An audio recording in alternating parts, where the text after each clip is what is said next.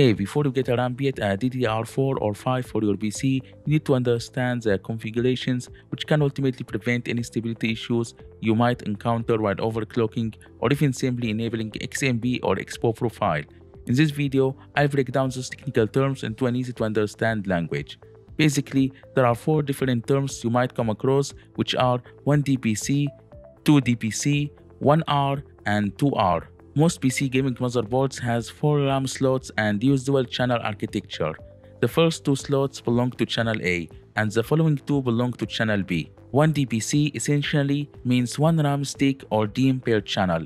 To achieve maximum frequency, it's typically best to have 1 stick per channel, while 2 DPC means 2 sticks per channel. Then we have the terms 1R and 2R, which represent rank. You see a RAM stick has two sides. 1R means only one side of the stick has memory chips, while 2R means both sides contain memory chips. Having chips on just one side is less demanding for the memory controller, resulting in lower CAS latency and higher frequency potential.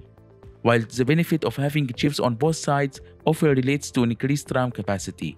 But hey, if you are aiming for speed and less latency while even maintaining the same RAM capacity, a single rank stick will be your best choice. For example, we have this ASRock Z790 motherboard and if you look at the spec page, the optimal configuration for the highest speed will be to have one RAM stick per channel that is also single ranked. So two sticks in total. This setup can support up to 7200 MHz. On the other hand, the slowest configuration will be having all four slots filled with dual ranked sticks.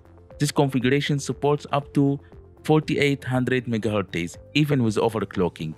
So the key takeaway here is for the maximum speed supported by your CPU and motherboard, you need to opt for single rank sticks with one RAM per channel. Thanks for tuning in and don't forget to subscribe for more tech related tips and tricks and I'll see you in the next one.